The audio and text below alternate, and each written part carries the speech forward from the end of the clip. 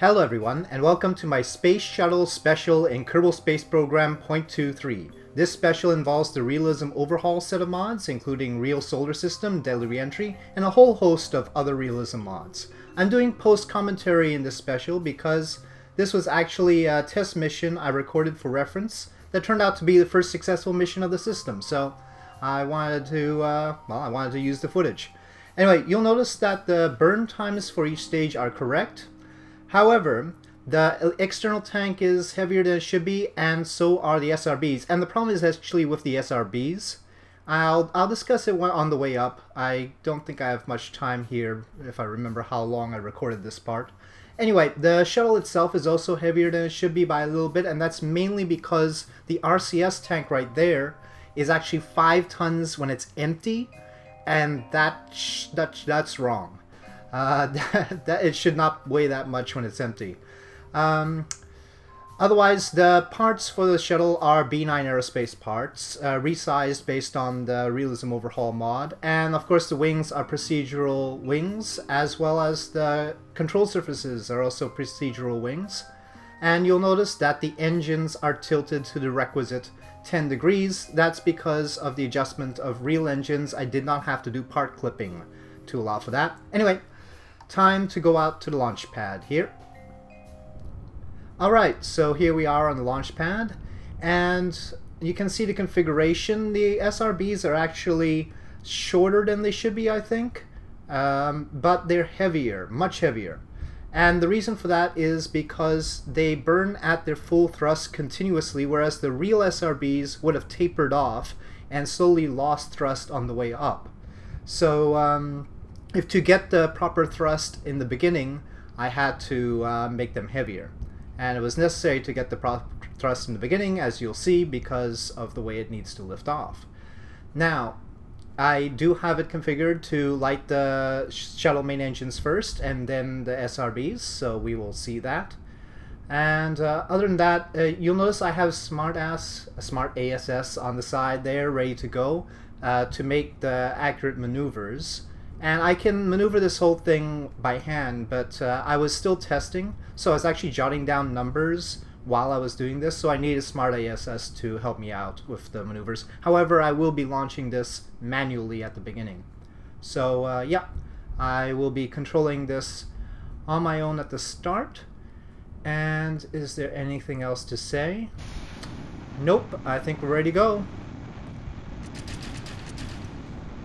Okay, so there we go, and uh, so this is my own attempt to control it, and it is absolutely necessary to have the full gimbling. So the Space Shuttle main engines are tilted 10 degrees, and they also have 10 degrees worth of gimbling in that direction, and all of that is necessary to keep this stable right now.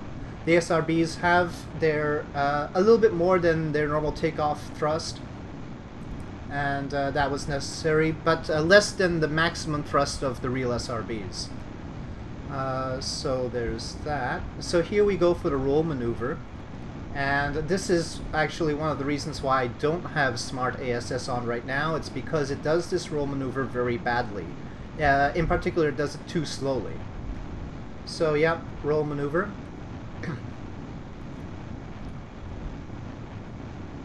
And oh, you'll notice that the thrust setting is at one third, but that's not really one third of the shuttle um, shuttle engine thrust. It's actually about uh, 70 75% because the shuttle engines can only go down to 66% or so. I forget what the exact number is, 66, 68% or something like that.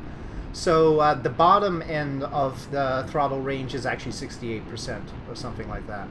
I'd have to look it up. I forget what it is. Um, the all the engines are uh, modified by the real engine pack. So, so those are real shuttle engines, RS-25Ds, and uh, with all their efficiency, wonderful, wonderful efficiency. The SRBs also have their uh, proper ISPs. I adjusted the tech level to make sure that the SRBs have the correct uh, ISP there, and you can see 251 right now.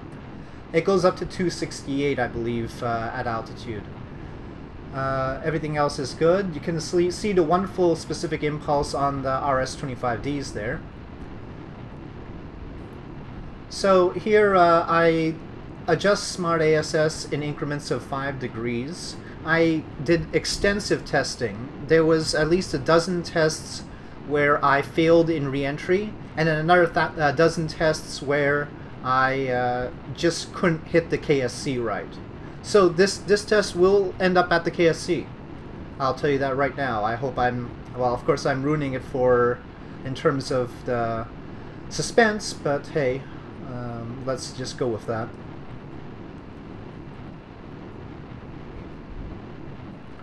All right. Otherwise, it's very nominal, and I'm adjusting the pitch based on all the testing that I had done. So this is as good as it gets as far as the as far as the launch profile. Obviously, this isn't the real shuttle. It is heavier, it has different dynamics, and so the launch profile is also different. Um, yeah, especially the wings are different. You'll notice I only put a single piece wing. I could have made the wings look a lot more like the shuttle wings, but I wasn't entirely sure about the dynamics of that. I preferred the straight delta wing like this so that I could know what was going on. And uh, yeah, the the gliding of this this shuttle the way I've got it is very much like a brick. it's it's it's it's probably what the shuttle is like, uh, I think. So um, at least as close as I could get it. I probably should play Orbiter a bit to uh, to make sure that uh, I actually have the right shuttle feel. I think uh, Orbiter might help. I'm reaching for my notebook here where I had all my notes for for all the shuttle launches and there were a lot. So so I know the launch profile. I've got the whole launch profile written down uh, adjustment by adjustment here. So for instance, 18 kilometers we go to 55 degrees and eventually the the boosters do run out exactly when the real shuttle boosters run out. It's around 44 kilometers. So I got that right. And uh, the burn time is right, like I said. It's uh, 2 minutes and 3 seconds for the solid rocket boosters. Um, so th there, there are certain things that I uh, prioritized in terms of making sure I got them right, and there are other things like the mass of the total vehicle that I didn't prioritize, and uh, those are a bit off. And, you know, because of the parts themselves, I really couldn't make those perfect. So, uh, yeah, we're going to 300 kilometer circular orbit, by the way. And uh, that is the plan. And I've uh, literally for every test, I jotted down uh, by altitude where everything was. And especially on reentry, that was critical to troubleshoot the whole thing. Okay. So here we're uh, getting ready to get to our pitch a proper pitch for the SRB separation. The proper pitch is 35 degrees, and I will hold it at 35 degrees um, while the SRBs are separating. This is uh, absolutely necessary, as you'll, you'll see. You'll see.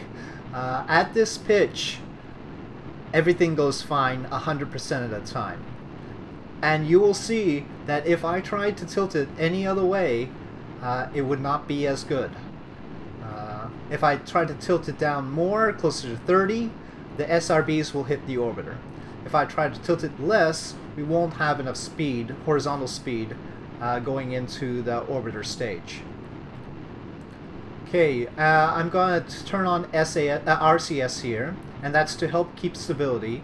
And this is one portion that Smart ASS really, really does it better than I do when I'm launching it manually because I can't keep it stable the way Smart ASS does. So here's the SRB separation.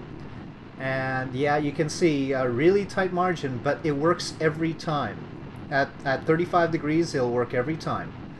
Uh, regardless of uh, any, uh, you saw it sort of a weird roll there, and it can do that differently at different uh, uh, releases, but it always works. And pretty much immediately after that, we go to 30 degrees. Still need RCS to help keep it stable here. And I just checked to make sure nothing did get damaged by the SRB separation. So now we have a long burn ahead of us, and um, among the things I didn't uh, talk about uh, during the VAB section was our payload. Uh, payload in the bay is just a crew tank. The Hitchhiker can has been resized by Realism Overhauls, or yeah, I think it's just Realism Overhaul that resized it to a larger size, and has a mass of about 6 tons, I think. And with this orbiter, it's necessary to load things back to front okay? Uh, otherwise uh, it doesn't like it. Uh, not not on the launch portion. The launch portion is fine. It's the reentry portion. It needs to have as much mass back in the payload bay as possible. So the little crew tank is in the back and that mean that crew tank allows us to carry a total of seven Kerbals if necessary. We're only carrying three this time obviously. But uh, the addition of the hitchhiker can means that we can carry seven the total payload possible is 25 tons. To get 25 tons uh, into orbit safely, we need to fill up the liquid fuel and oxidizer for the that's for the OMS engines. The OMS engines obviously don't look like the real shuttle OMS engines, and they're mounted in line with the center of mass of the vehicle, uh, so that I can use them any time and they don't need so much gimbling. So the liquid fuel oxidizer are purely for the OMS engines. They obviously don't feed the shuttle main engines, which are drawing the liquid hydrogen and liquid oxygen from the external tank and will not be able to be lit without that external tank. So, uh, so once the external tank is gone, no more shuttle main engines, as it should be. But uh, the OMS engines need to have full tanks of liquid fuel and oxidizer if we're carrying a, full payload of 25 tons. Uh, in that case, we have about 1,300 delta V in them. Uh, here right now we have commensurately lower, about 500 meters per second of delta V. So uh, still more than the actual shuttle had. The shuttle's uh, OMS engines had about 300 or so. The hypergolic fuel is, of course, for the space shuttle main engines, and so technically we do have enough for another relight, but we never use it. Uh, it's just no point using it. Um, the RCS is only on the orbiter. There is no RCS on the external tank, and that RCS burns hydrazine. So as you can see, we're carrying a large amount of hydrazine there and we will not use all of it. Um, I mean, uh, I guess in in theory this load would be enough to uh, facilitate a docking with a station. Uh, we're carrying much more than we strictly need for a launch without a rendezvous with a station. Food, water, and oxygen, as you can see from TAC life support. Uh, there, for seven Kerbals, we have 21 days supply which should be more than enough for any normal shuttle mission, obviously. Uh, in fact, we could carry less, but I, uh, I just went with uh, 21 days. It sounded good. And uh, mass-wise, it, it's not a huge contributor. One thing that is a contributor, and you'll see the parachutes on the side there. One thing that is a huge contributor to the mass of the orbiter is the fact that I decided to add parachutes just in case. And during testing, it was very important. Whenever I missed the KSC, I used the parachutes to make sure that the orbiter landed safely. So we do have uh, an ability to keep the orbiter safe even if we don't find a proper landing location. Uh, so keep that in mind, but those add a lot of mass because there's, I think, what is it? Uh, at least 18, I think.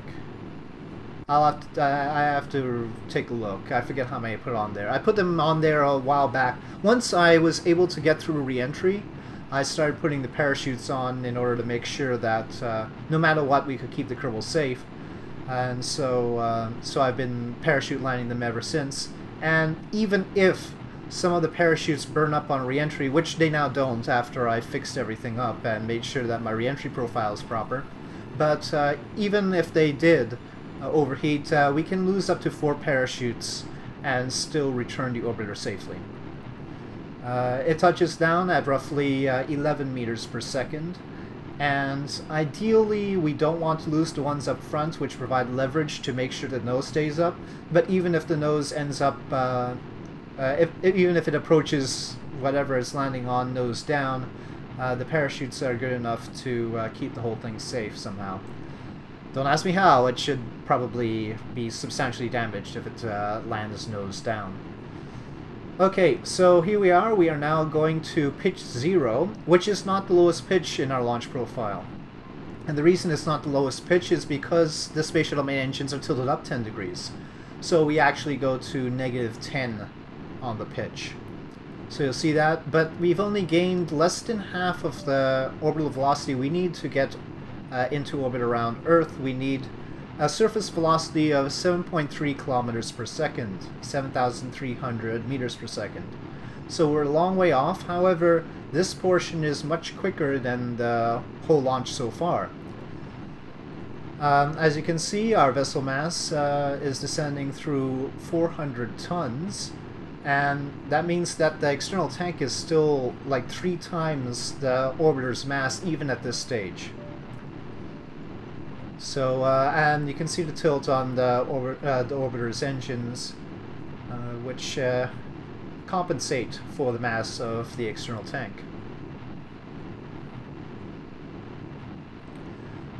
Obviously the reason we need to go to negative pitch here is because we need to keep our apoapsis down while we uh, lift our periapsis.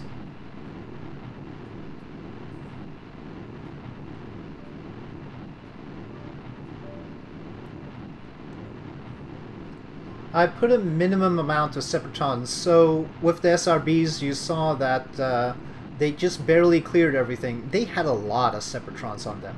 Their empty mass, the empty mass of the SRBs is 60 tons.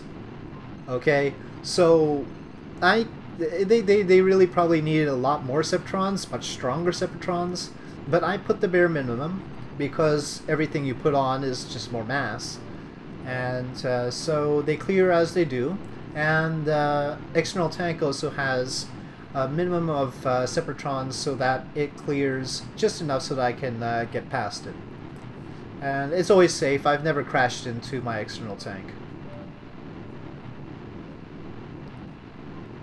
And I say never. That's a lot of launches in this case. This has been a many months long endeavor to uh, get this right. After doing the uh, the Saturn V and the N1L3, uh, this was really the next thing, next logical thing. Obviously, it's the in terms of big launch vehicles, this is the next most difficult, and really it is the most difficult, I think. I, I can't imagine any anything more difficult than getting this right uh, around the real Earth.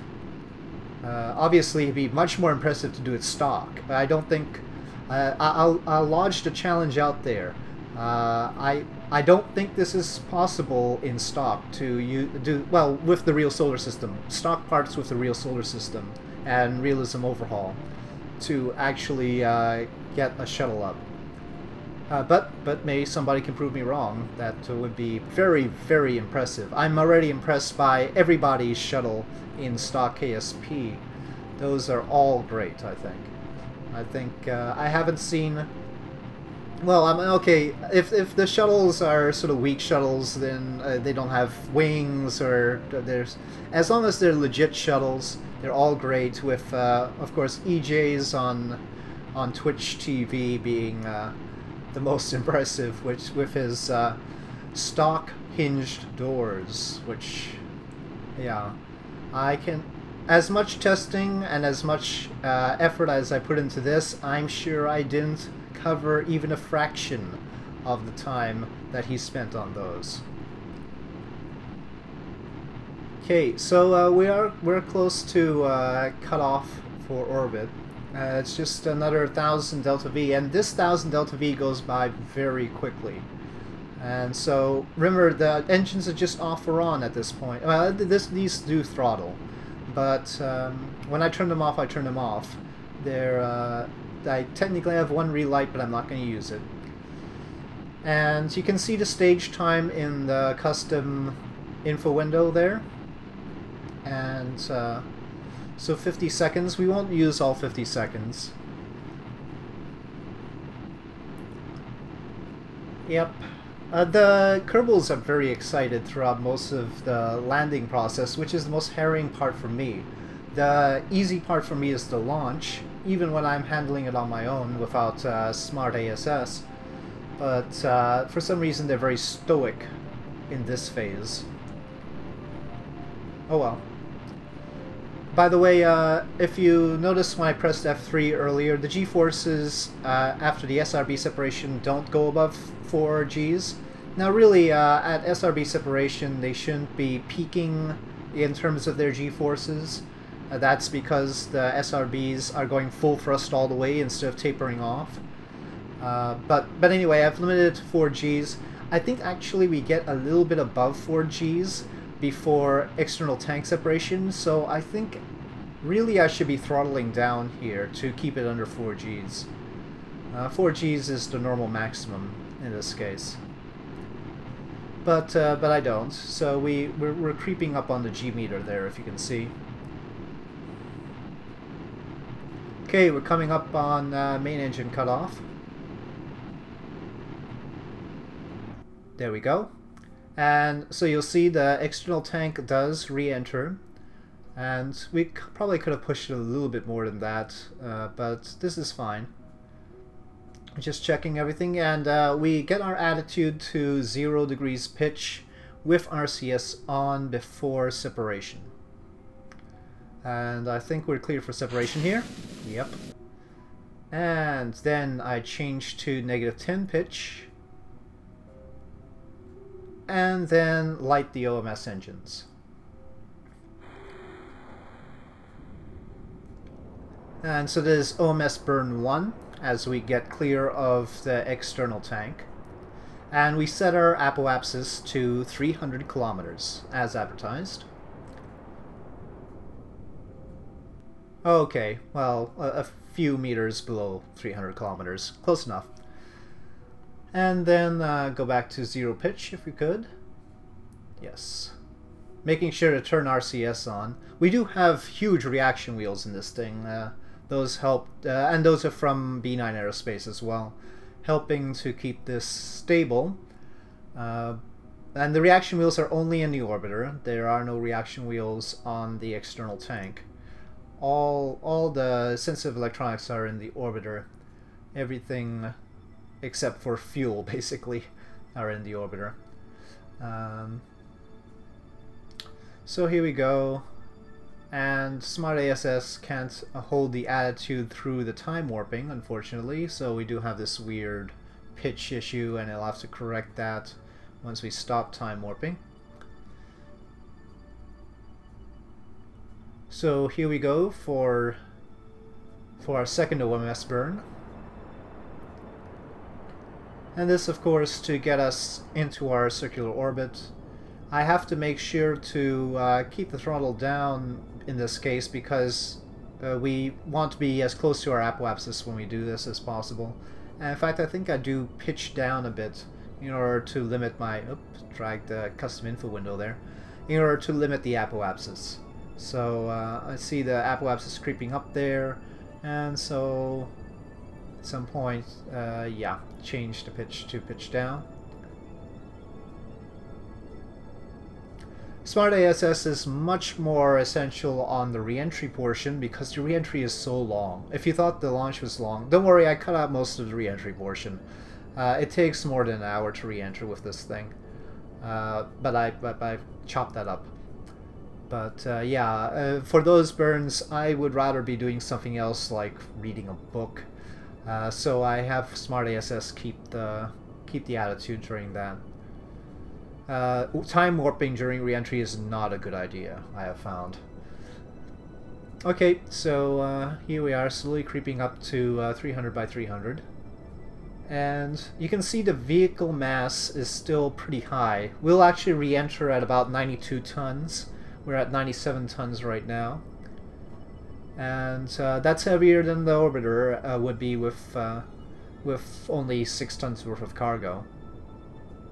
Again, it's the RCS tank that for some reason has a five ton empty mass. That's that's a killer. The parachutes are a killer.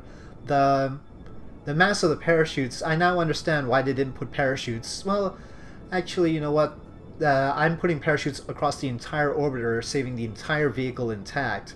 They didn't really have to do, well, I guess they would have to do that, wouldn't they? It'd be tough to figure out how to decouple the crew section or somehow separate the crew section with explosive bolts uh, or something like that in order to uh, pop parachutes just on the crew portion. Not too sure that will work out. So I guess maybe they would have had to. Uh, they would have had to. No, I can't imagine that they would. I'm sure they would have figured something out, but the mass would still have been pretty pretty prohibitive. Okay, so here we are. There it is. Close enough for uh, for my own purposes. So first, fix the pitch. Next, the space shuttle actually goes uh, in orbit backwards. And the reason for that is because the, in this case, the engines will be shielded, uh, shielding the crew from debris. So it's not a problem if the debris in space hits the engine side, because after all, they don't actually need the the main engines anymore, and uh, that's what would get damaged probably. Um, it's just in general a safer side to point the thing. Now I'm rolling it like this mainly for aesthetic purposes. it's uh, it's just uh, aesthetic as far as I'm concerned. I'm opening the cargo bay doors, which which they would do because that is to prevent overheating of the bay, and uh, so the heat radiation is done by opening the cargo bay, and they have thermal properties. Uh, anyway, you get the idea. I do have lights in the cargo bay, but not on the orbiter itself because they would provide extra drag and especially on reentry, extra heat. So there are lights in the cargo bay, but not outside on the orbiter. Okay, so uh, we transition here. And here, I'm adjusting my orbit for reentry. And this is because during testing, the previous test I did, I was able to get it within one degree longitude of the KSC at a 252 kilometer apoapsis. So starting from a 252 kilometer apoapsis, I was able to get it within one degree of the KSC and I have all the data from that approach, which was my closest ever approach. And so I'm using that data to make the approach this time. But in order to do that, I need to get my orbit to 252 and I'm just going to do a circular orbit at 252 here so I'm doing burns at both sides as you can see I'm not too I, I doubt they ever run the OMS well yeah I doubt they run the OMS engines while the cargo bay is open and definitely not maneuver but this is smart ASS that's maneuvering it right now this is not my fault it really wouldn't be maneuvering anyway this is the deorbit burn now so the deorbit burn will take it to 252 by 80 kilometers. And that was why I tested it at. And so I'm starting the burn one degree before I started the burn in the test in the hope that I will get back down one degree ahead and therefore hit the KSC. So these are the things I have to do. Basically, uh, everything depends on how you enter the atmosphere. And uh, here we go. So entering at the right point is critical. After that, everything just happens. There's no way you can change the reentry profile too much because uh, there is some adjustment. I can probably uh, adjust it uh, within three degrees worth of longitude. I could probably figure out how to fix its trajectory. But not too much more than that with this orbiter. Obviously, Space Shuttle is much better at this. But this orbiter is not quite as good, and mainly it's deadly reentry. If uh, if I try and uh, make its uh, a pitch less steep, it will heat up too much and explode. That's basically the idea. So I'm constrained, and being constrained, I have to hit the reentry properly. No, no substantial cross-range ability with this thing. So we are using the Space Shuttle's 40 degree up angle on reentry. This is what the Space Shuttle does, and you know what? It's exactly what we need. Uh, there's, there's no other choice. It, it, it really, we have to hit it this way. Um, I, I bring it down to 30 degrees at one point, I'll show you that. But uh, in general, we're going to be 40 degrees all the way until we hit around 55 kilometers and then uh, forces take over and we won't be able to maintain 40 degrees up up angle and and that's just how it should be. Okay, now this is the portion where I have to adjust to 30 degree pitch and that's because no matter what I do at this point it will threaten to go up. So at 92.5 kilometers I know I have to adjust to 30 degrees pitch otherwise we start going up. Doing this we will not go up. We will uh, continue our downward descent, albeit very, very, very slowly. Uh, at some points it is pretty much zero. But during all that time our speed is bleeding off, so it's a very useful zero. You'll notice I have speed brakes on this. Those are necessary too. They also provide downforce, which means that uh, I can't keep them on once we uh, pass 70 kilometers. The downforce will actually uh, prevent me from keeping the nose up. So I have to uh, put down the spo- uh, put down the spoilers uh, once we pass 70 kilometers. Anyway, uh, here we are, and around here, I should be looking to get back to 40 degrees pitch. Yep. So we are now at 40 degrees pitch. How do I know that's time to do 40 degrees pitch? 7,250 meters per second that's that's my point for readjusting the pitch to 40 degrees. So it's all about speed there. Now I took notes on the condition of the craft every 2,000 kilom uh, 2,000 meters, and especially every 10 kilometers was a key point. So this is passing the 90 kilometer mark, and I made note of the longitude to see how we were doing. And in this case, we are we are doing fine. Okay, and then uh, we're coming up on our next check after a little bit of a transition. Here, after 88 kilometers, I decide we no longer need the spoilers, the air brakes. So, but I'll pop them up uh, every now and again along the way as I see my longitude is, is uh, not, not where I want it to be. So here again, I raise the spoilers, and you've seen, you see I've got the heavy-duty landing gear up. That's the part that I use to gauge the temperature of the craft throughout all my tests. And that's because it's sticking out a bit, so it does get hot. If we pass 950 degrees Celsius, the parachutes start to be jeopardized. By the time we get to 1050 degrees Celsius with that landing gear, uh, the craft is basically going to be destroyed. Uh, so, and that's just uh, that part and from experience. So, just telling you ahead of time, uh, that's a number we do not want to cross.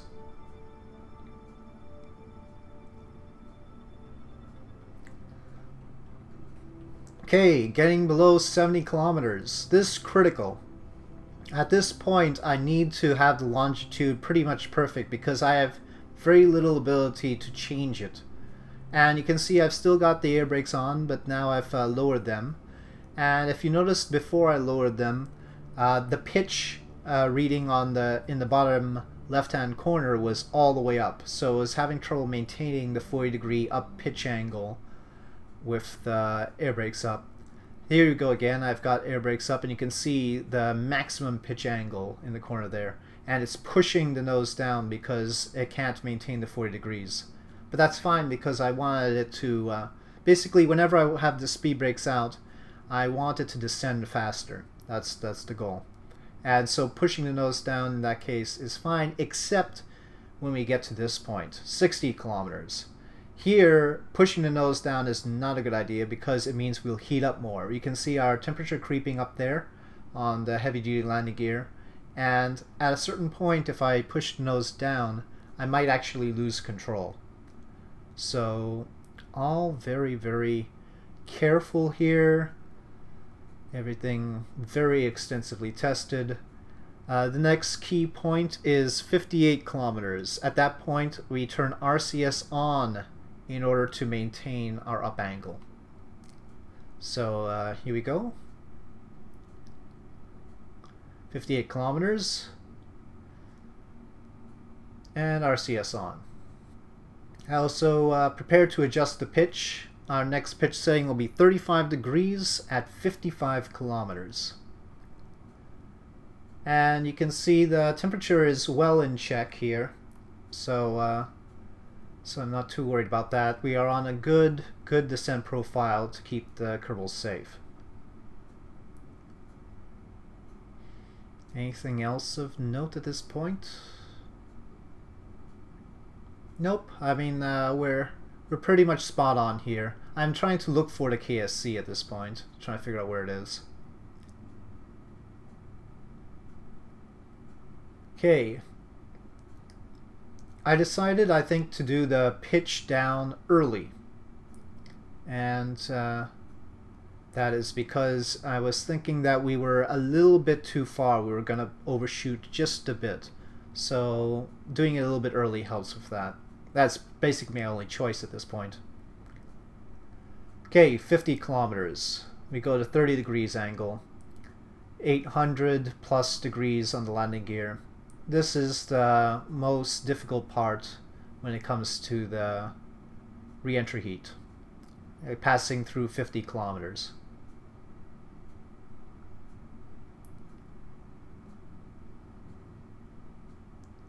Okay.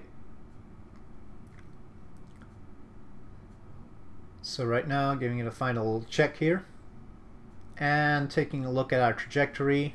And you can see our approach to KSC. The problem is I'm not able to see it on the ground right now. So I'm a little bit worried about whether it may be too dark. 45 kilometers. And we are going to descend to 25 degrees. At this point, uh, Smart ASS is not going to be able to hold it for very long. I'm going to take manual control at 40, well, uh, a little bit below 40 kilometers. Uh, temperature is no longer a problem here. Uh, as you can see, it's descending steadily. For, uh, 50 kilometers is really the key point. After that, uh, everything is smooth in terms of the temperature. We will need to use the OMS engines in order to help us with the landing, and that's because I haven't got the trajectory perfect yet, so just a warning about that ahead of time.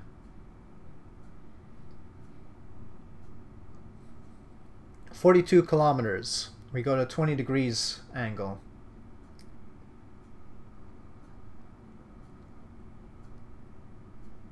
Okay, now I see the KSC, so I'm trying to gauge when to do these pitch adjustments, and this is the last one Smart ASS is going to be able to handle. Uh, even with the RCS, uh, it just can't deal with anything more. Okay, 36 degrees, uh, 36 kilometers, sorry. And here I should be getting ready to turn off Smart ASS and take manual control, you can see Smart ASS can no longer keep the 20, pit, 20 degree pitch and I am now going to pitch it down 20 degrees. Uh, actually uh, anywhere from negative 10 to negative 30 depending on where I think I need to be for the landing. So uh, no more cuts in this video, I'm going to show the landing through. Uh, obviously, as I told you, I did extensive testing, lots and lots and lots of attempts beforehand. But what you've seen here is a straight cut, no, uh, no quick saving during this this particular mission. Uh, if I had to restart, I would restart from start. So uh, this was a single mission, and boy was I excited once I got to this point. This, just the fact that I was behind the KSC instead of totally off. Just the fact that I had the runway in sight was an amazing thing. And I was all round to go for landing here. There's no way I was going to let this opportunity pass. There's no guarantee. Remember, all I was doing is trying to adjust that one degree that I was off on the longitude.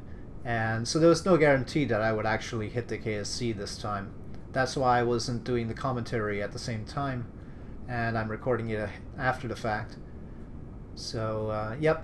But I wanted to record the mission because I wanted to uh, make sure that I had a record of it, just in case I happen to get it right. So, so here we go. I'm just running the engines a little bit. Uh, it's not really necessary at this point. Um, it's for a little bit of maneuvering sake and making sure I can lift the nose. G-forces are a bit high. Um, really, we shouldn't be pulling G's at all at this point, and it's because I'm I'm struggling a little bit to keep attitude. You can see we have about 460 meters per second. These these uh, OMS engines have nowhere near the thrust to weight ratio to uh, help this orbiter out if we were in any substantial trouble. It's nowhere near one. That's I think they're 150 kilonewtons apiece, uh, and it's only two of them, even though they have two nozzles. So it's uh, 300 kilonewtons, and the orbiter is 90 tons, give or take. So uh, the thrust weight ratio of a third is what we're talking about here. Okay, you can see me try to line up, and for some reason I'm not tilting my wings. I really should bank a little bit here.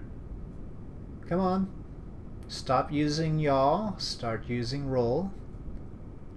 There we go.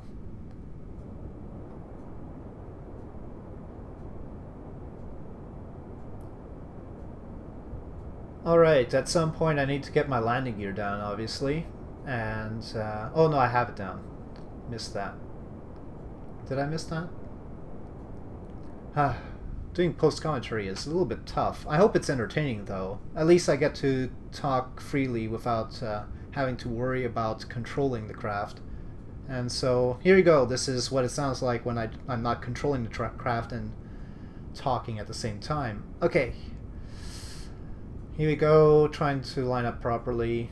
And uh, and I've uh, checked this out. That uh, it is good good to 70 meters per second, so it, it can still uh, function properly without stalling down to 70 meters per second, so that's good. It's not really great on lift, as you can tell. Um, yeah, it's it's seriously hard. I'm I have to say, and I know from experience, from the testing, of course, that uh, I have to keep the nose down as far down as I feel safe as long as possible. You can see we're still losing speed here. So it's not like I can uh, hold it nose up or any angle less than negative 20 degrees without uh, jeopardizing the landing.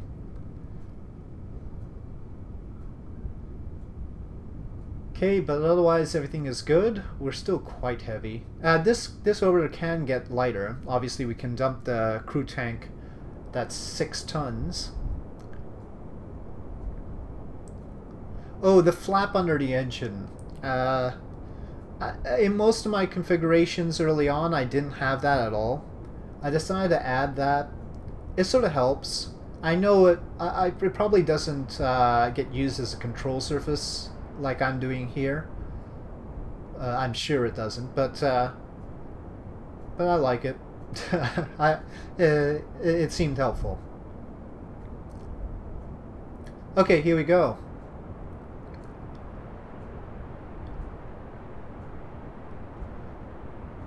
And full throttle. I think I can glide this down if I really get it in properly. If I get the approach just right, I can glide it down, I think. But that'll take a lot of practice. I've also done a U-turn with it, so it can do U-turn. So that's that's a doable thing.